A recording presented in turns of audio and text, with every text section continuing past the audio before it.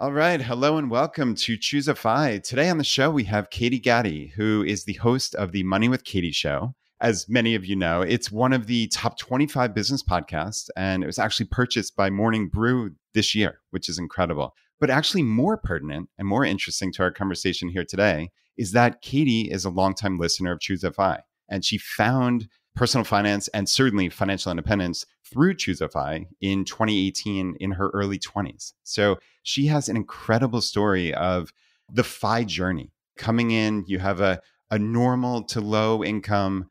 Where do you start? And where do you go from there as your career expands, as your options expand? What does your FI journey look like then?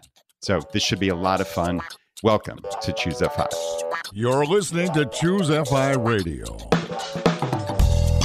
The blueprint for financial independence lives here.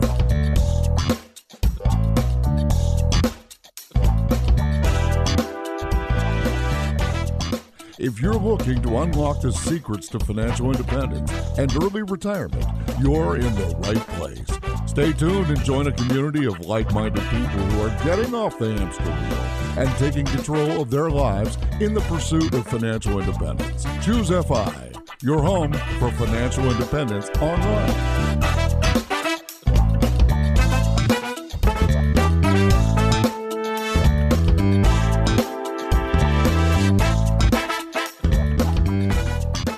All right, Katie, welcome to Choose FI. This should be a lot of fun. I'm excited to have you here. Thanks so much, Brad. I'm just beaming. This is such a full circle moment for me. So thank you so much for having me on. Yeah, well, thanks for being here. This has been quite a year for you, right? so, if I remember correctly from a, a, Twitter post, I think I saw a billboard in Times Square with your face on it.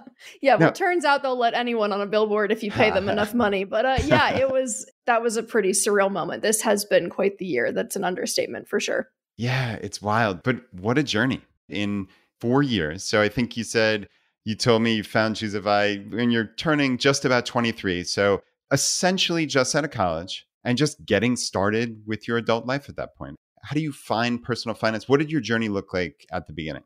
Well, it's funny because I think I think everybody finds at some point in their life that they have a financial awakening. And you just pray that it happens early enough for you to course correct and really take advantage of the amount of time you have left. But for some people, that financial awakening happens two years before retirement, where they realize, oh my God, I haven't really prioritized this and I don't really know what's going to happen next. So I feel very fortunate that in my early 20s, I kind of had that, I will call it a realization or a little voice, a little knowing that as I was working full time and kind of going about my life, that I didn't really have a plan.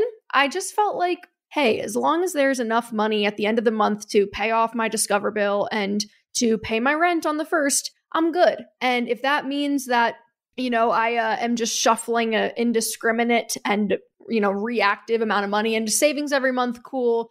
I'll worry about all this later. But there came a point where I started to realize that just going along to get along, just riding that treadmill wasn't a very satisfying way to progress.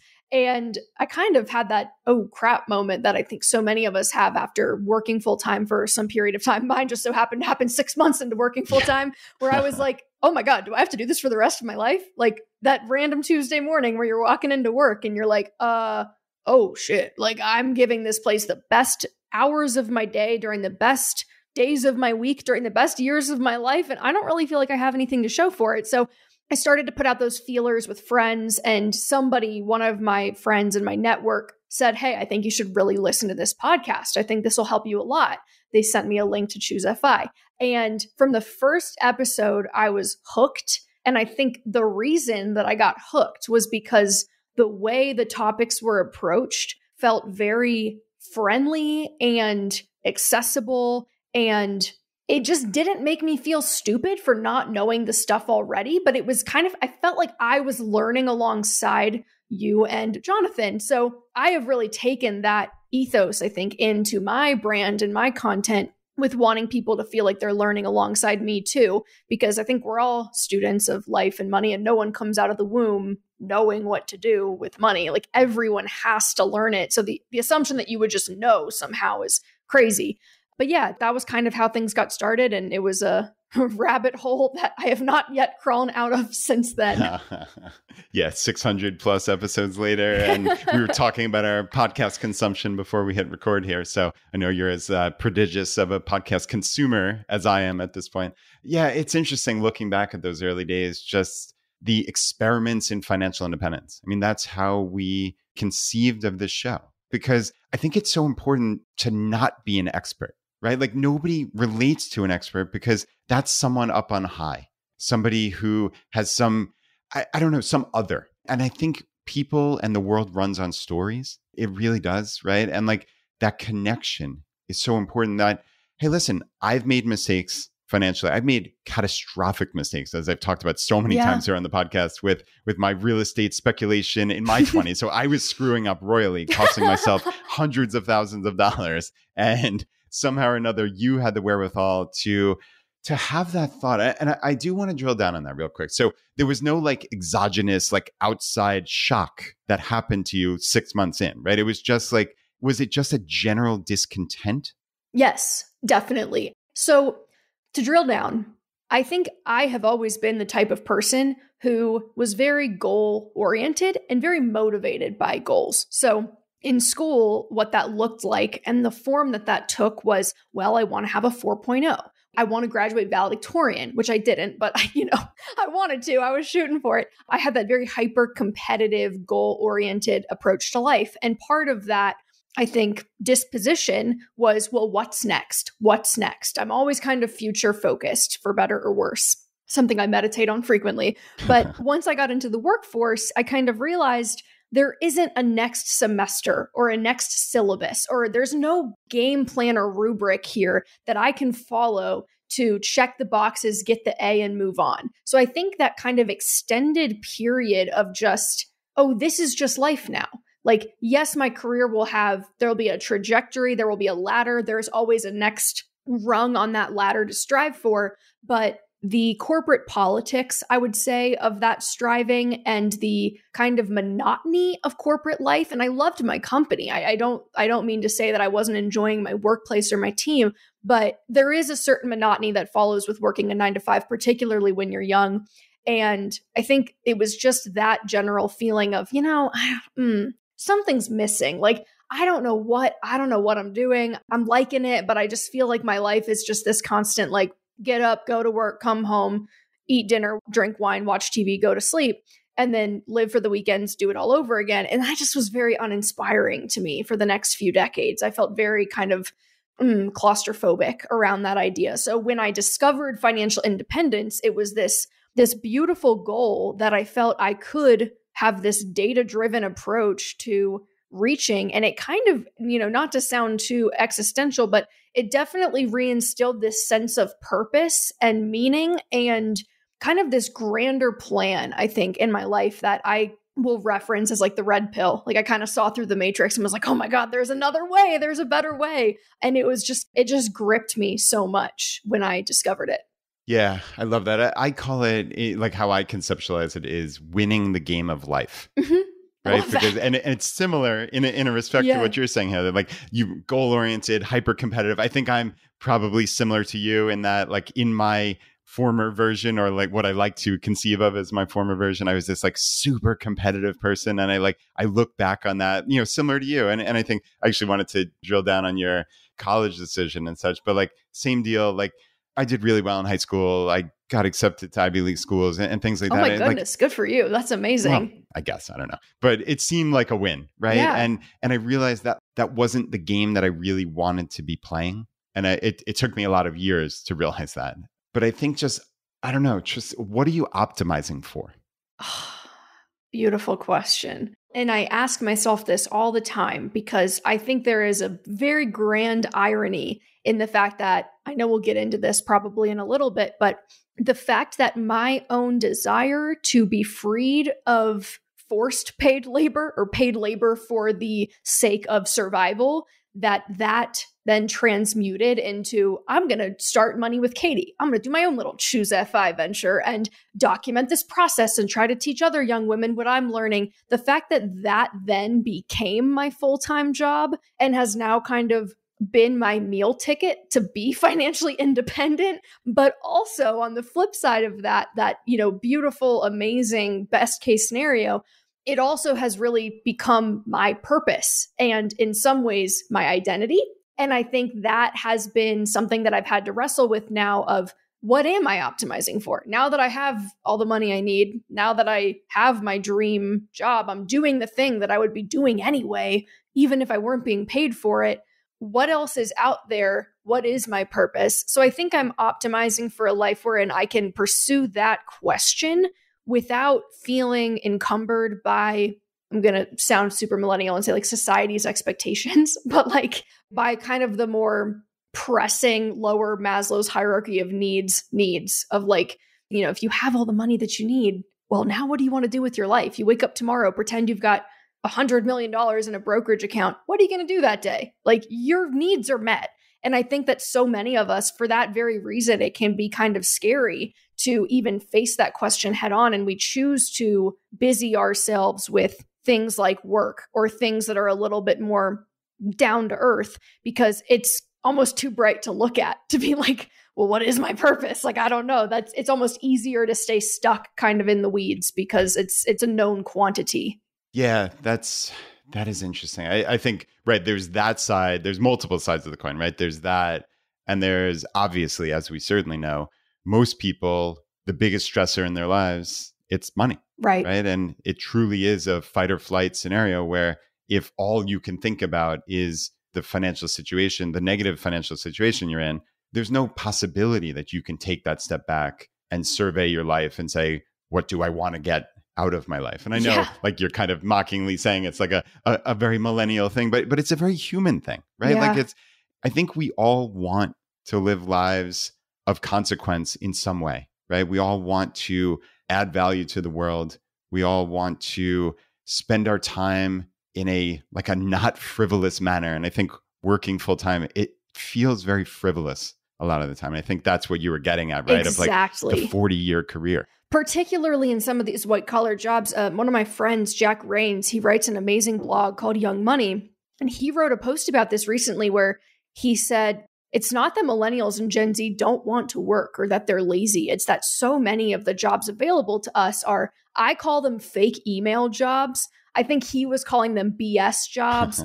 kind of these things where you know that if you just disappeared tomorrow and went away and weren't doing it anymore, absolutely nothing would change. There would be no consequence to that organization. And so when you feel like you're kind of like, and I'll call myself this sometimes, but you feel like you're a spreadsheet monkey. It's like, well, you know, that's going to be automated right. someday. You're, oh, you easily. You don't feel like that white collar job has meaning. And so, in some, you're not working with your hands, you're not maybe impacting other people directly. It's like if your job is to make a massive corporation incrementally more money, it doesn't surprise me at all that people feel this lack of meaning and purpose because we're so disconnected from meaningful work. At least I think many of us are. And typically, those are the jobs that pay really well and are, are relatively low effort compared to even like service industry jobs that are extremely difficult and don't pay very well. So I think as a society, we almost have some of these things backwards with how much value we're assigning to certain things, which I could rant about all day. So I'll cut myself off there. Yeah. Well, uh, you said a couple minutes ago you put out feelers with friends. And I'm actually curious what that looked like because I think so many of us, no matter what stage we're at in our lives, and obviously I'm a decent bit older than you, but a lot of people, friends of mine, are just not content with their lives. And I think we all just kind of internalize it and we don't necessarily talk about it. But I wonder okay, you're 22, 23, you're starting this this job, you're out of college, you're you know, super excited, you've succeeded according to everything society said and now you're this spreadsheet monkey or whatever you yeah. called it, right?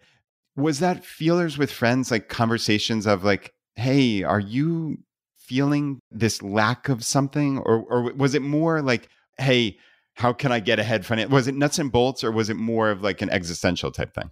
I would say that I put out both kinds of feelers, but definitely with respect to the existential questioning that was something that at 22 I didn't really have the words for in the moment. It was more a sense, a felt sense that now in retrospect I can recognize and name and identify, but at the time it was more that general discontent that I didn't really know how to approach. So my method for approaching it or my tactic for approaching it was turning to nuts and bolts and saying, maybe I'm feeling this way because I don't have a plan. Where do I feel like my life is kind of floaty? Oh, personal finance. That's the area that feels like it needs work. So I and I hate to even admit this because I feel like it perpetuates a stereotype that I don't want to perpetuate, but I kind of asked male and female friends about their financial habits and hey, how much are you making? Like, do you think I'm making enough? Like, how much are you saving every month? What are you investing? How are you investing? What is investing? Like,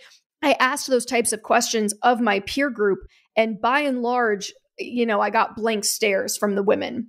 And it was the men that were, I'm on Robinhood, I'm buying this, I'm trading that. Oh, I'm using Betterment because they do this. And so I had this one friend who we weren't even that close. His name's Landon. Shout out Landon if you're listening. I don't know if you still listen, but he was the one that sent me Choose FI. And he would be the one that periodically would send me a link to something like Betterment and say, you know, they'll do it for you. And I'm like, well, how is this different from Robinhood? Oh, well, this is why. And I could kind of bounce questions off of him because he was interested in personal finance too he would send me articles to Mad Fientist's blog, to Brandon's site. And when I would read Brandon's work, particularly about tax hacking and such, it just was so far over my head. It was so, it was just so far beyond me at that time. And so now I, I really look back on that and smile and feel quite accomplished that now that's the type of stuff that I really enjoyed doing the most. And we'll read irs.gov for fun. But I think that really s- signals growth and I'm thankful that I did have guy friends at the time where some of them were giving me terrible advice, you know, trading options, but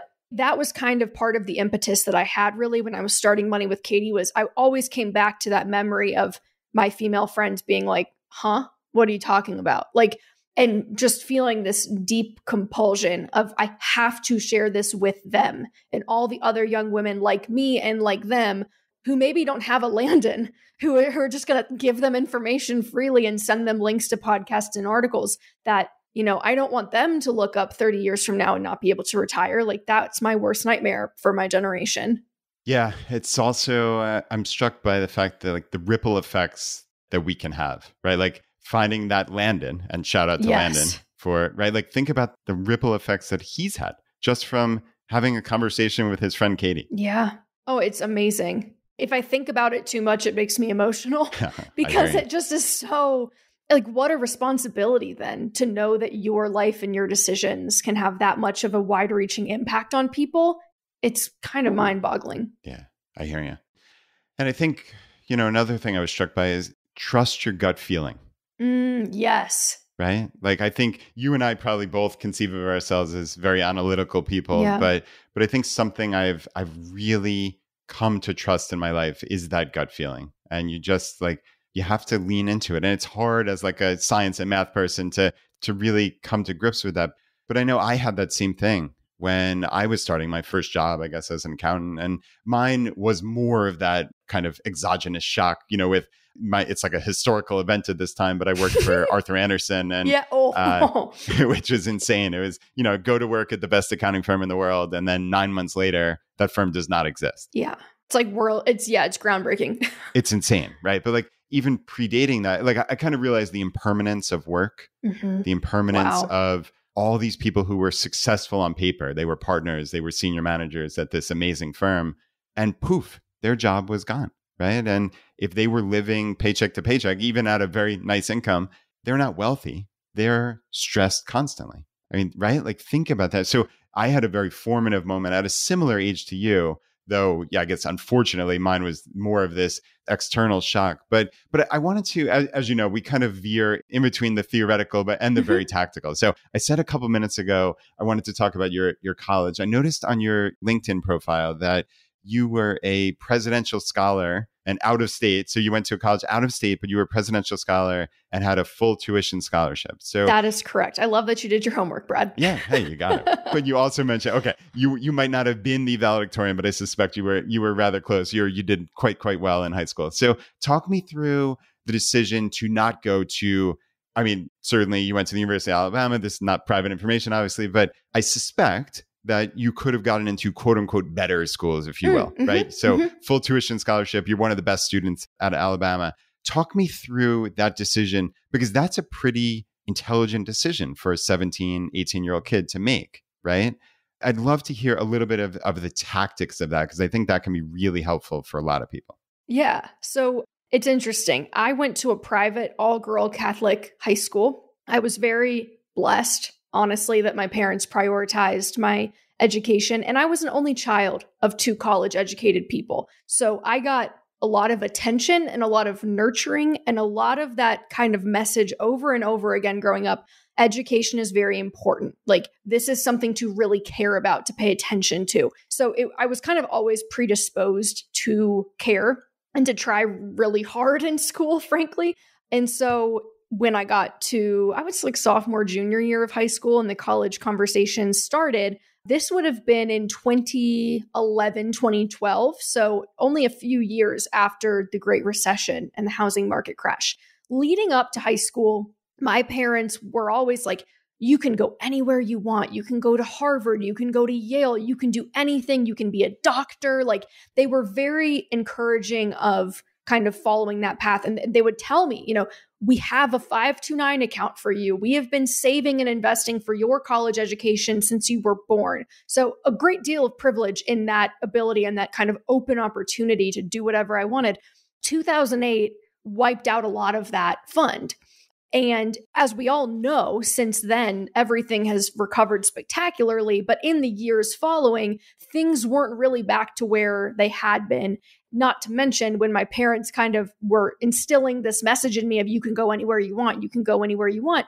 That's like early 2000s. Well, by 2012, I think the year over year tuition growth at all of these schools is like 20% year over year. So so like planning to send your kid to Harvard when she's 5 is very different than 13 years later, particularly in the 21st century. So that conversation quickly changed from like you can go to Harvard too. You can go to a state school with a scholarship. so yeah. fortunately though my grades were good. So I um for whatever reason, you know, in northern Kentucky where I lived, Alabama was recruiting very heavily. Like they had a lot of resources going into getting kind of top students from that region. And I learned through another student that if you had a 3.8 GPA or above and a 32 on your ACT or above, they would just give you full scholarship. Like you didn't have to write any essays. You did it was just like you check these two boxes and you're good. And I believe that still stands. I haven't heard otherwise. So I would say I don't know that people are necessarily aware of that. So I kind of heard about that. I was like, that's interesting. It, you know, it was eight hours from home. My parents took me down there for a visit.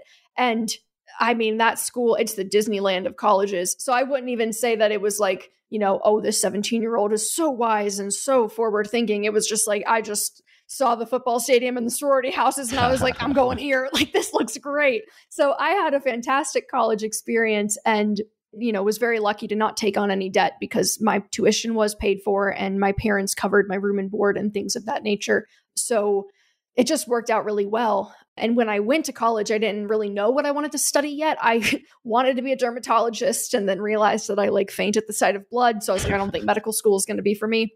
And so, you know, someone had told me back then, well, if you want to make money writing, you should study public relations. And I was like, great, cool. And so I, you know, find out after declaring that major that Alabama has like a top five program for PR. So I'm like, well, that worked out. Like I didn't even know that when I decided to come here.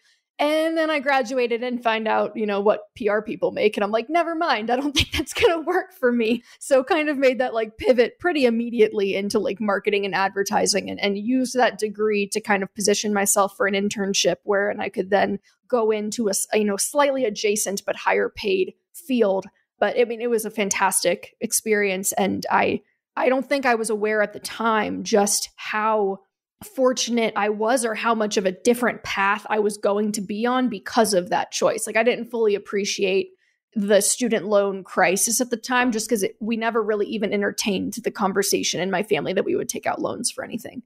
Yeah, it's uh it's such an interesting conversation. Obviously, we spent so much time on on Choose FI talking yeah. about about scholarships and just the ROI of college, but yeah I, I would love i still one of my goals in this entire project is to like aggregate all of these amazing college scholarships that exist right? Like you're talking about like, like university of alabama. Like that would be amazing if we had just a list of a hundred of these things. We had noah and becky way back when probably four or five years ago talk about like the caddy scholarship that they got to like purdue i think it oh was because they were golf caddies. That's it was amazing. just wild. like right? Like all of these things exist but nobody's really aggregating it. And I'm also struck by like as you're talking about your parents, right? So like they were I, am thinking about like my own age now and and my yeah, my daughter your who's daughter. 14 is going to college in 4 years and how you're kind of a product of your time and your environment. And they went through when they were young adults, basically. I know you probably don't think of them like that because they're your parents, right? And they always so seem weird. so old. Like you existed before me. It's weird.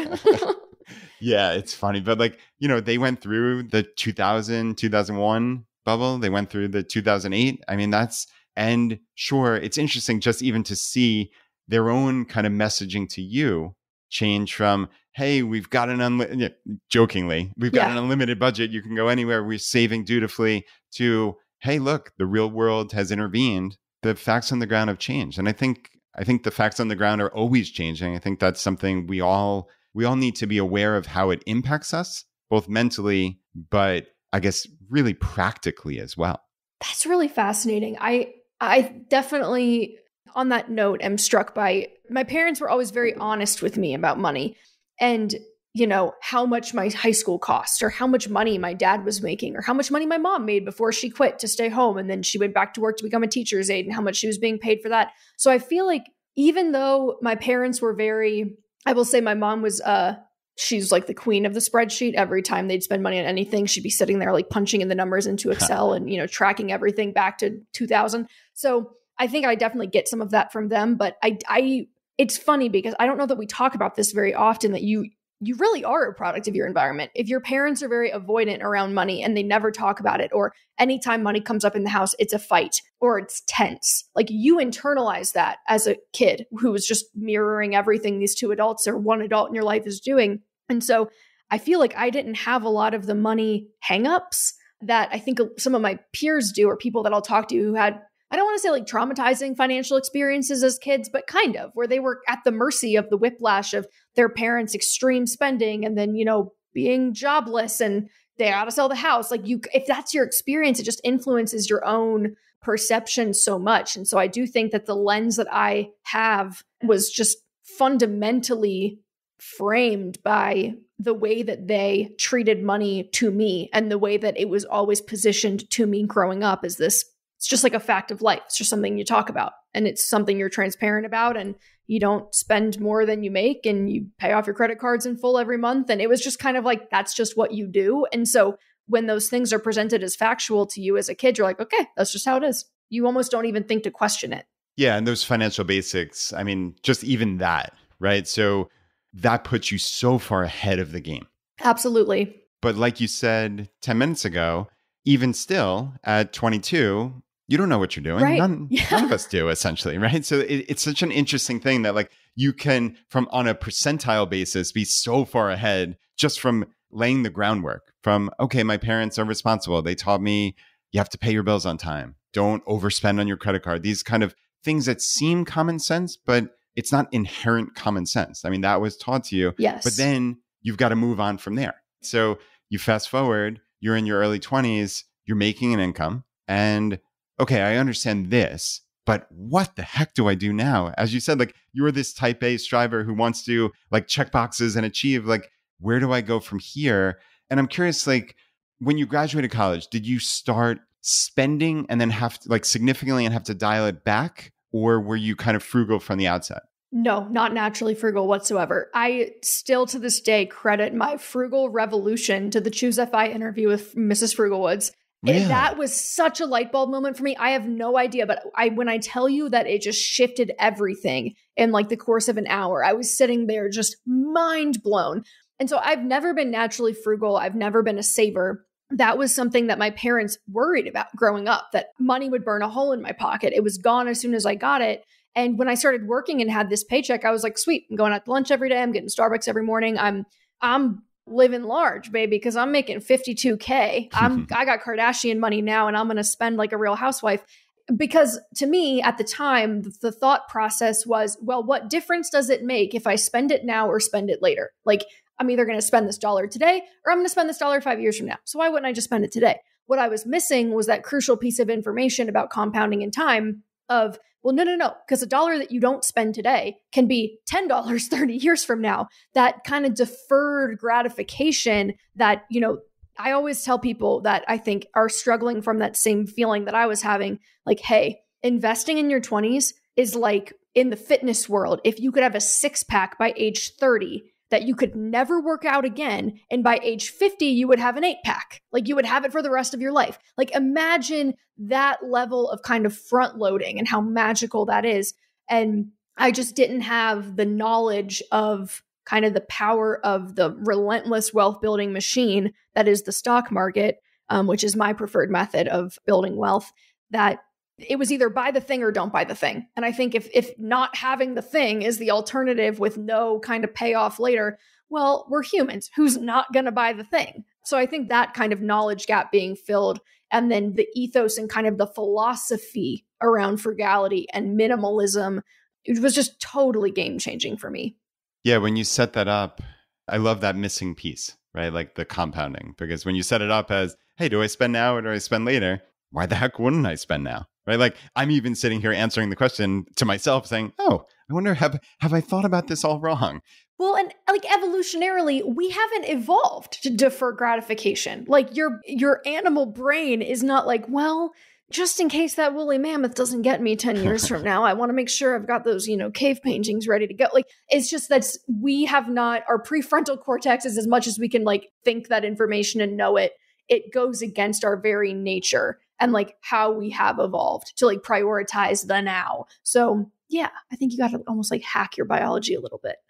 yeah, agreed. And, you know, as we're talking about front loading the sacrifice, I think that's how we love to call it. Like, it is astonishing. And it's important to take a step back and say, there is never a bad time to get on the path to FI. Totally. There's never a bad time to start taking action to make your life better. I think this is really critical this show, the financial independence movement, is never about 22 year olds getting it perfect from the outset or 18 year olds. Like, if that was it, we'd all wrap up shop and, you know, people who did well, did well, and everybody else, you know, you're kind of screwed.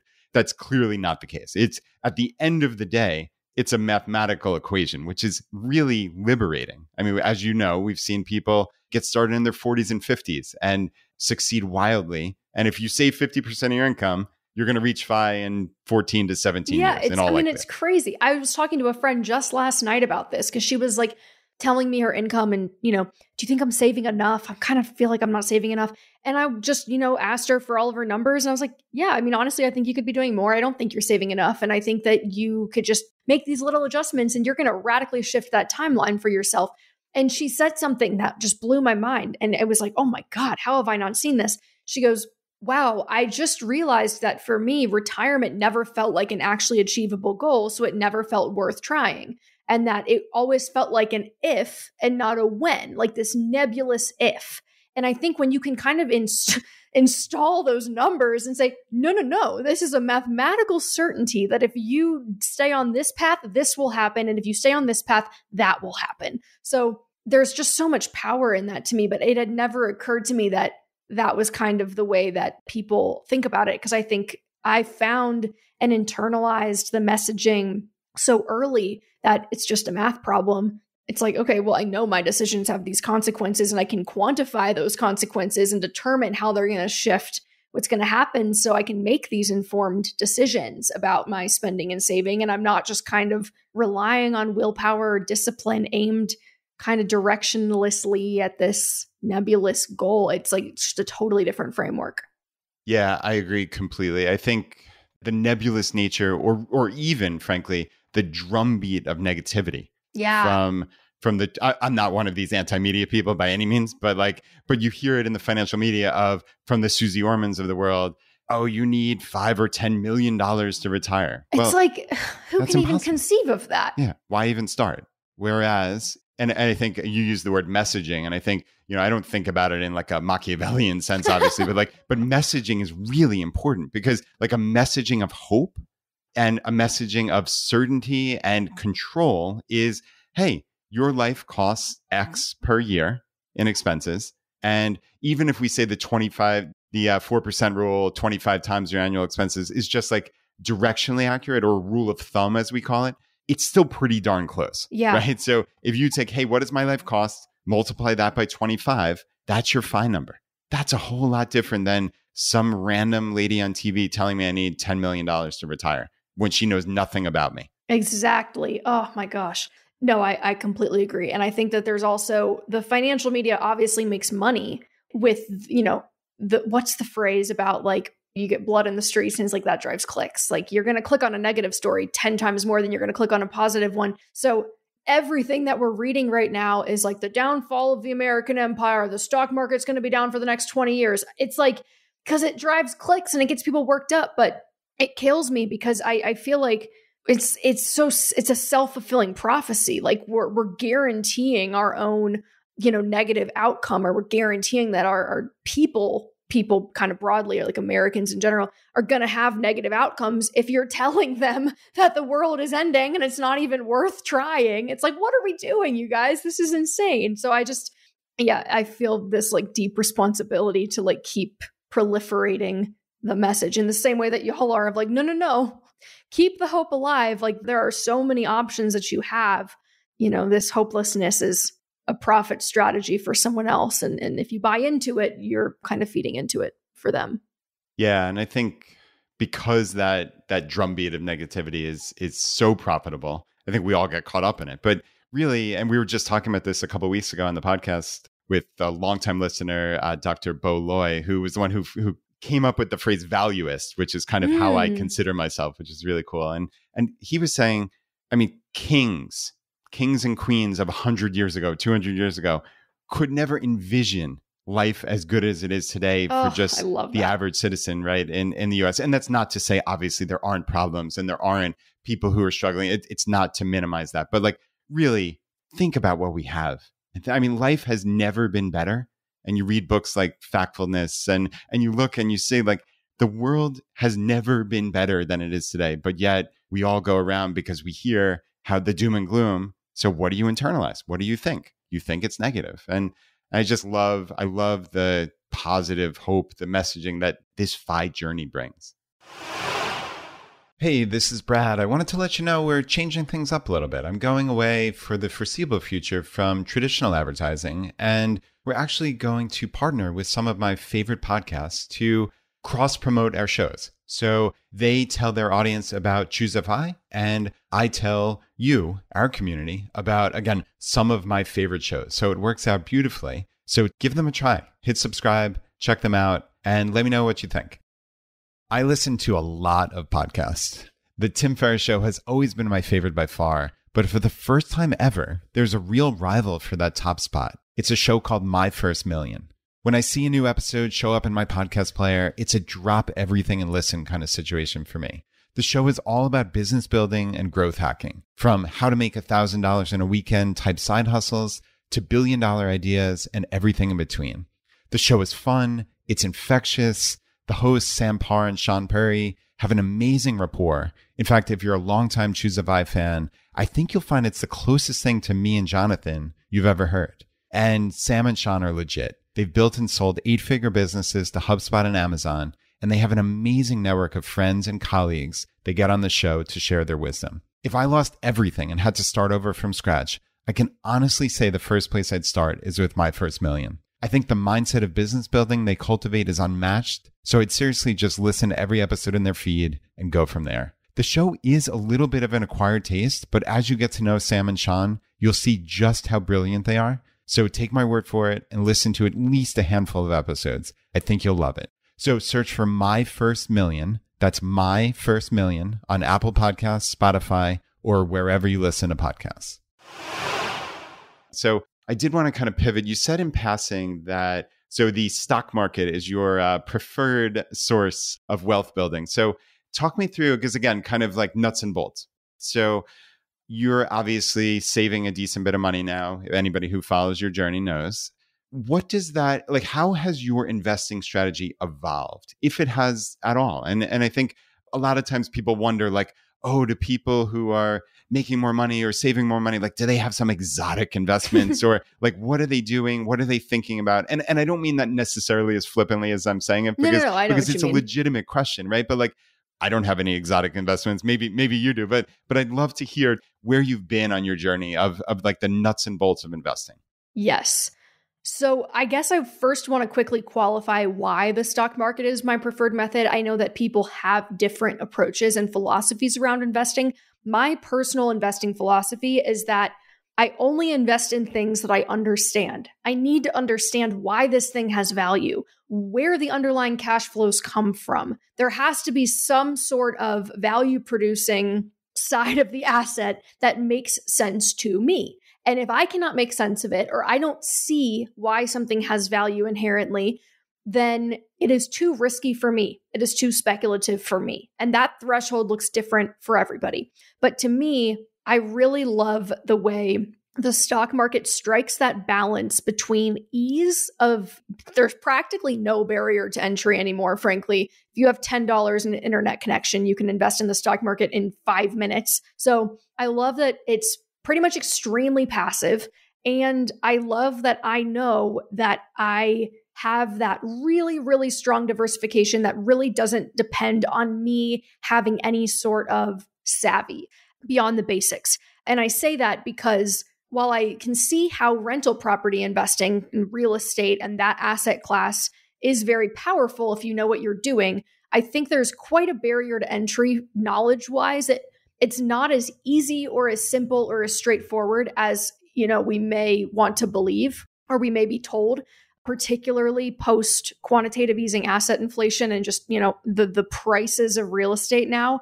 So i i have kind of steered clear of that asset class up until this point in my journey. Not to say i won't ever dabble but i have always really been gung ho on the stock market. So from a nuts and bolts what am i investing in and what is my strategy? I would say there's two layers. So the first layer is i want to be as tax advantaged as possible. And i know that there is some debate about this in the community about whether or not the 401k the roth ira is worth it. There are some fringe groups that will say if you want to retire early you shouldn't even bother.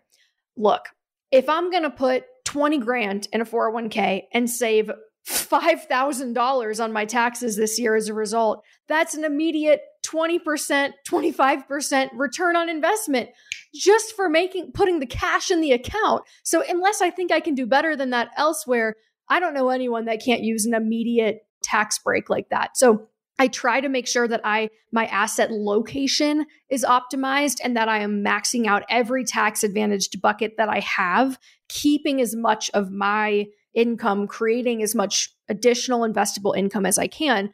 And then with that income inside those accounts, and I am funding brokerage accounts pretty aggressively as well, just because obviously these qualified retirement accounts have limits. You know, I'm putting money in all of these places, but once it's in there, I kind of have a different asset allocation strategy for each. And I really do like M1 Finance. I love the pies. I think it's just brilliant that you can kind of, you know, get these expertly built pies that are diversified thoroughly. And so I used to be on the VTSAX all day long train. That was really my my bread and butter. I think as I learned more and as I kind of got more familiar with Paul Merriman's work and learned about small cap value and how like the emerging markets ETF uh, or ETFs that that index was kind of a lifeboat in the 2000 2009 period and how we all kind of have this recency bias with the success of large cap growth in the last few years I have expanded my horizons to include different things. So, you know, international stocks like developed markets funds, small cap, mid cap, small cap value in particular, because I did really buy into Paul Merriman's ethos about small cap value and, and why it is inherently like I kind of understood after reading his book, We're Talking Millions.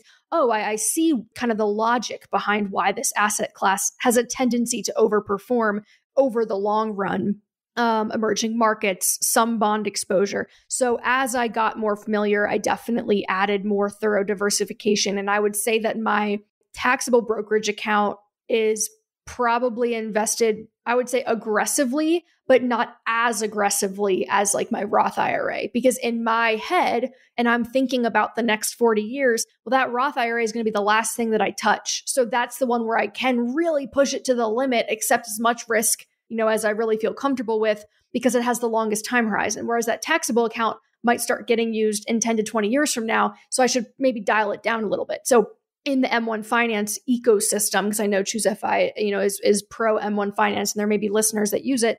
I have the taxable account in the aggressive, and then the Roth IRA in the ultra aggressive, and then my 401k at work, because obviously we all, if you have a 401k through an employer, your provider determines what holdings you have access to.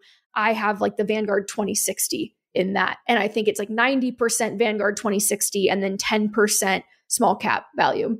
So that's like the two funds for life model that Paul Merriman and Chris Pedersen will talk about. So I, I definitely think I've I've learned more and I've tried to be open minded to this idea that there is on that macro scale this argument against passive or this idea that like people have compared it to a pyramid scheme and i think that's a little insane but but there are some uh some veritable grievances that people have about too much money in the market that's just flowing into passive and not enough people actively actively investing. But at the end of the day for me i don't think i should be the one trying to seek a price signal. I don't think i should be the one trying to set market prices. And i, I really do believe that if it ever got to a point where there was too much passive well now you have arbitrage opportunities right? So some active investor is going to come in and exploit that and get the price signal back to where it needs to be. So I'm pretty optimistic that if you hold a diversified bundle of low cost ETFs, like to me, that's as good of a guarantee as you are going to get in this life that you are going to be very wealthy someday. Yeah, that's how I conceptualize it also. It's like, what's my highest likelihood of success yeah. over 50 years? And I think for me, where I come down on that, yeah, it's similar in that keeping my expense ratios low, trying to have as broad based of a exposure as I can get, is where I am at this point. I think my ability and interest in picking individual stocks is uh, is limited at best. So I don't even try to play that game. Again, it's like, what are you optimizing for? Right? I think that's that's a question that I'm always considering. And and for me, a lot of it is just ease and highest likelihood of matching the market. And if I can match the market over 50 years with essentially negligible expenses, I am thrilled with that. Same.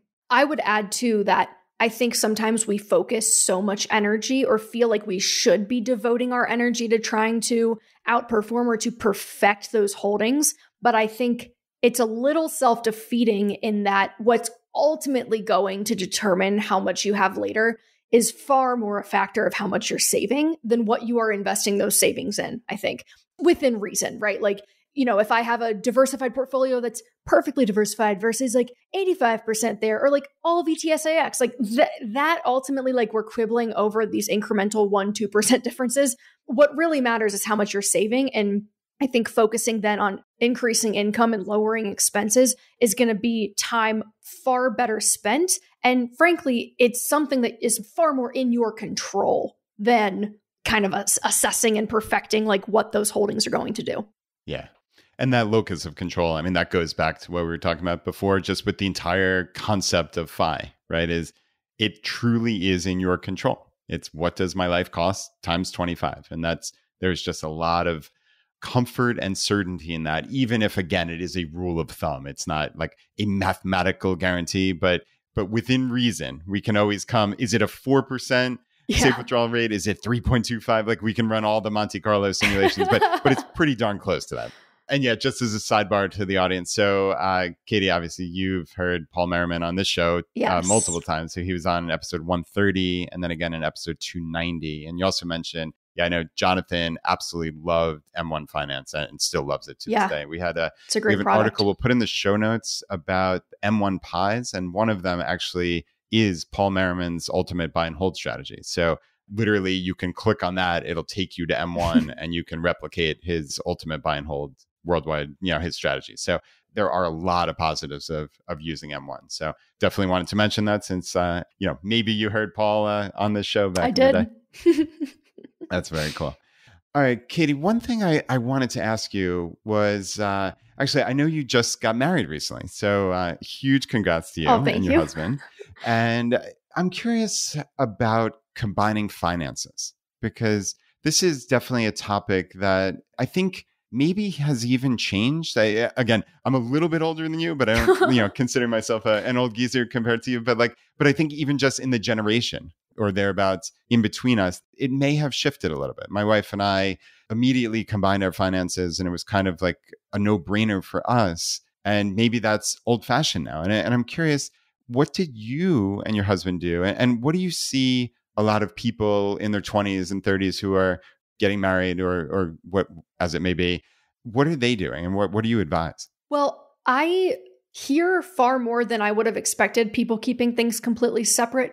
And I think that that's fine if that's what works for you. The only thing that I would caution to what I'll kind of call the roommate model of money in marriage is that it's okay if you guys decide that what works best for you is to determine your joint expenses, to allocate whether it's the same amount each if you earn similar amounts, or maybe one earner earns substantially more. And so you want to do a proportional thing to put that money in checking and then use that for expenses. And then you both get to separately keep whatever else and do whatever you want with it.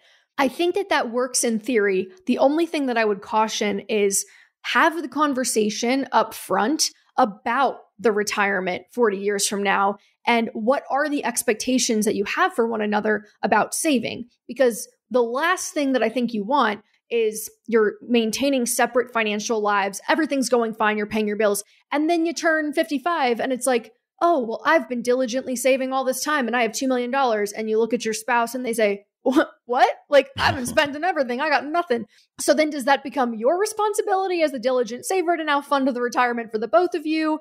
Do they just have to keep working until they have enough money to stop? Are you going to kick them out of the house because they can't afford their half of the groceries? Like, I think it just introduces some comp complexity and challenges that if you think through them ahead of time, you're you're okay, great, perfect, like go on your merry way. But that's the thing that I, I don't think people think about on the spending side, probably because it's unusual on the individual basis to even be thinking about those things. That's not common. I think like we need to make it more of a thing. But for us personally, and why I think it's more common that people are keeping things separate now. I can't remember off the top of my head the statistic about average marriage age, but it has been increasingly getting later in life that people are marrying. And so they're coming into relationships with more assets and liabilities of their own because they've lived more life than had they gotten married at 21 and you probably you don't own anything so you have no liabilities but you also uh, you know you have no assets either. My husband and i both had at the time we got married legally in june 2021 around like 200 or 250 thousand dollars a piece and so because we had a similar amount of money that was pretty you know just coincidentally in lockstep we basically said okay we're not going to do the prenup thing because there's really nothing to protect. If we were to get like we we would combine this and split it down the split middle, it it's going to give us both the same that we came in with. So we ended up not doing a prenup, but we basically once married said, "Okay, we are now going to open a joint checking account and everything that comes into that joint checking account you know is going to be our full paychecks. All of our income is going to go into that account all of our expenses are going to get paid out of that account. And then our investments aside from the the retirement accounts that are individual by nature that are being funded through our work the investing that we are doing is all going to go into a joint brokerage account. So we have really combined from the marriage point forward, but we did not retroactively combine the money that we had in individual brokerage accounts or retirement accounts. It was kind of like that stuff can be in your name, this stuff will be in my name. Ultimately, it's all going to get spent by both of us or get passed down to our children. So that doesn't really matter. But like moving forward now, we're a team and everything's coming in together, everything's going out together, everything's getting saved together. So that ultimately works for us and I think it kind of comes down to comfort levels and and obviously it's always like an interesting conversation and marriage around like, well, what does it mean if you don't trust your spouse with your money? Like is that something that you should look into or like is that something you can live with? So, I think it's an interesting conversation because oftentimes the way people approach it has very little to do with money and a lot more to do with like the relationship itself and their personality. Yeah, and that does that portend larger issues right. as you're kind of alluding to there. Yeah, I, I, think I would echo what you said about it. Really, it comes down to communication. It comes down to having having these discussions, and it truly is very personal. I don't think there's a right answer, though. I would tend to agree with you that I think that that roommate model, as you kind of uh, so eloquently called it, that that seems quite fraught with peril. I mean, that's, yes, I uh, think there's a lot of opportunity for not that there's not for fully combining for things to go wrong. Like that's absolutely both can go wrong if one or both people are not approaching it like truthfully. But I do think that there are more questions that have to be answered at the outset with the roommate model in order for it to be successful. Agreed. And that truly is where communication comes in. But, you know, I can certainly just kind of last word from me on this is I can see how it's important that people have separate money and, and feel some level of autonomy and not that every purchase is being looked over their shoulder, right. especially like you said, if people are coming in slightly later in life and they've been living an adult life for years, potentially decades, like you don't want to feel like there's a big brother or somebody oh, looking absolutely. over your shoulder, right? So, you know, I, I think there's a happy medium there. So, well, thank you for giving us a little insight into your own life there. For sure. So, Katie, this has been amazing. thank you so much for coming on. And we actually are uh, we are bringing back the hot seat.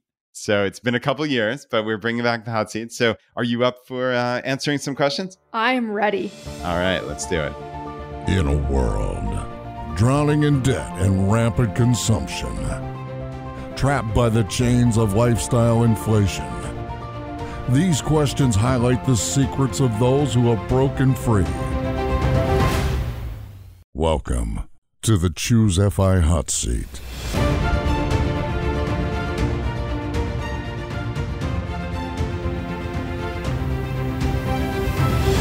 Okay, Katie, question number one Your favorite blog, podcast, or book? Or a couple of you, or whatever you want. so I think for, I'm going to go book and I'm going to go Quit Like a Millionaire by Kristy Shen and Bryce Leung because I think it's just the most concise description of like everything you need to know. Just boom, you read that book, you're good. Go do what it says and you'll be fine. You don't have to read anything else. That's funny. I am not surprised by the answer just because if you go to moneywithkatie.com, there's this uh, really amusing picture of you with a, a pencil across your, your upper lip, which is a great, great picture, by the way. And I noticed this morning for the first time that under your coffee mug is Quit Like a Millionaire. Yep. It's funny too, that picture we get there's this one person that emails us, but just goes to show that like the the larger your audience gets, the more strange people you're gonna find. But there's this person that was incessantly emailing us every single week for like a month or two, being like, I don't know why, but I hate that pencil mustache photo so much. Please change it. Like I'm begging you to change it. It bothers me so much. And really? I was like, look, I'm not changing it. No. Normally it's a hit, but yeah, every once in a while you'll get. This. It's just funny that you bring that oh, up because I we always joke about pencil gate and this person that was like very very triggered by the pencil mustache. Yeah, I guess that's one of the uh, the downsides. Obviously, is you kind of see a broad swath of people, and you know, listen, one percent of people, unfortunately, are always going to find something to be aggrieved yeah. about. So, or maybe more than 1%. But, but yeah, I, I love the picture. I think it's fantastic. So, thank you. All right. question number two an inflection point in your life that was especially memorable or meaningful. I'm not just saying this because I'm on Choose FI right now, but finding Choose FI. I think I say that because it didn't just send my financial life on a completely different path, but like my entire life. I would probably still live in Dallas. I'd probably still work for the same company. I would probably have a net worth that's 10% of what it is now without this show. So I would say it really changed and started everything for me about how my life is now, what I do for work. And so, yeah, I mean, sincerely, thank you for being you. And thank you, Jonathan, who's obviously not sitting here with us right now. But um, yeah, finding Choose FI. That is amazing. Jonathan's here with us in spirit, certainly. Yes. But that is amazing. That's like one of these uh, chills moments. So Aww. that's, uh, I, I just love, it's amazing. We talked about the ripple effects with Landon, right? And, and you just never know what kind of ripple effect you're going to have in life, no matter who you are, where, where you are. and it's, uh, it's incredible. So I'm so glad to hear that, Katie. All right, question number three. So, your favorite life hack. Now, I don't love that term, but I think you know where we're going. So, yeah, general life hack. Totally. This is a basic one, but waking up early. Like it has gotten to the point that if I wake up past seven, I feel like my entire day is gone. Like I love waking up when it's still dark outside and eating my breakfast and drinking my little coffee and exercising. Like feeling like I've got that jump on the day, it just makes the biggest difference for me. So I would say, yeah, that like rooster wake up call has been my secret sauce. Nice. Yeah, I'm certainly an early waker. I love to get up and have an hour or so of uh, quiet house to myself. I'm even now doing, I listen to uh, the Andrew Huberman podcast, Huberman oh, Lab. love so Huberman Lab. It's amazing, right? So I'm getting my morning sunlight in the morning, first thing. Yes. Uh, early low angle sunlight. So you know, trying trying to do all I the. think about that every time I walk my dog at like 6 a.m. I'm like staring at the sun, but trying not to look at it. the sun's at four percent, yeah, four I'm like, degrees let me get over the horizon. Low angle light. That's so awesome. Uh, all right, question number four: Your biggest financial mistake. Well, as we've talked about, I'm very fortunate that I found FI in my early 20s because it prevented me from, I think, making a lot of the mistakes that I otherwise would have and circumvented that. But I do think the thing that I regret most looking back is like a mistake of omission as opposed to something I did and wish I hadn't. I wish I would have tried house hacking when I was still single and kind of in that like post grad period of life. Even though the property taxes in Dallas at the time where I lived were high, uh, I think with house hacking it still would have been a, a pretty strong net positive. And and given the time frame that I'm thinking of here, 2018, it meant that I would have gained a lot of equity on that kind of like real estate upswing that we've seen in the last couple years, where 2018 would have been like the perfect time, or 2019 with the low interest rates and asset values being a little bit lower than they are now. So I think it's just bad timing on my end because I had no idea what was coming. And now, with where I am in life, I'm married, my current income, my current lifestyle, and the price of multifamily real estate post, you know, asset inflation and everything that's happened over the last couple years, it's no longer really an attractive or viable option to me personally. So I just kind of feel like I missed out on it. Like, oh, I should have done that when I first graduated. I wish I would have had like the wherewithal to to make something like that happen because I think it could have been really powerful. Yeah, agreed. I've always been jealous of people like Scott Trench who talk about Yes. it and they just they hit it from the beginning. I love Scott. I got breakfast with him in Fort Collins a couple months ago and, and we were kind of talking about that. I was like, God, I'm so envious that you like that you just you pulled that off. You just went for it. I'm like, look at you now. Yeah, look at him now, right? He's the CEO Yeah. of Bigger Pockets and Bigger Pockets Money podcast. So yeah, good stuff. All right, Katie, next question. What purchase have you made in let's say the last 12 months or so, it doesn't have to be exact, has added the most value to your life? I think my like splurgy convenience purchases back when I was hardcore frugal and making less money, I would never dream of outsourcing anything because I was like, why would I pay someone else to do something I can do? But now that I have more money and less time, I've kind of tried to get that back into equilibrium by outsourcing cooking and cleaning. So I spend a small fortune on food and housework every month. I think people would gag if they knew like how much money we spend on those things. But at this phase in my life where I like really need to be singularly focused on my work and and have that energy solely devoted to these things, it just makes a world of difference for me. Yeah, that makes sense. Do you have any uh, interesting tips on the cooking specifically? So, do you have like someone come in and like a private chef, or do you uh, have a delivery service, or how does? Uh, Yeah, so we so I would say if someone's interested in doing this, I went on Nextdoor in my area and just searched the Fort Collins feed for chef and then I ended up finding a local female-owned business where for I would consider I mean it's astronomical for like the $2 per meal fi calculation, but it's pretty affordable comparatively to how much it would cost us to, you know, buy the groceries and then cook them ourselves and, you know, meal plan and all of that and the kind of the time value of money that you're getting back. So we spend probably for two people $200 a week on having her, you know, we buy several entrees and several sides and then every Monday they come and just drop off all the containers and we have food for the week. So it's pretty fantastic. I think it will vary on where you live, but I was surprised that even in a small town like this one, there there were several Hmm. like chef services that you could hire, and this just happened to be the one that I felt like was the best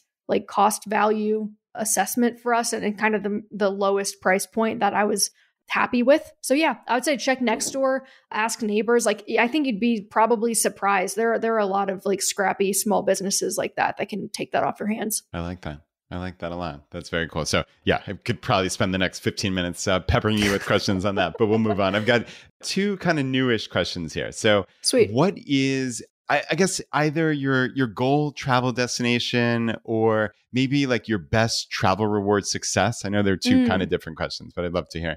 So goal destination right now, I really want to go to the south of France, like Provence. I just have I read a book about it. And now I'm like, oh, that sounds really cool. Best redemption that I've had recently. So I recently went to Scandinavia. I talk about Scandinavia an annoying amount. I feel like Bernie Sanders. And I'm like the Scandinavian model of everything. But I went to Denmark, Sweden, and Norway. It was a utopia. I fell in love. I'd love to live there at some point. But anyway, I had booked our seats on United going over our tickets from Denver to Denmark.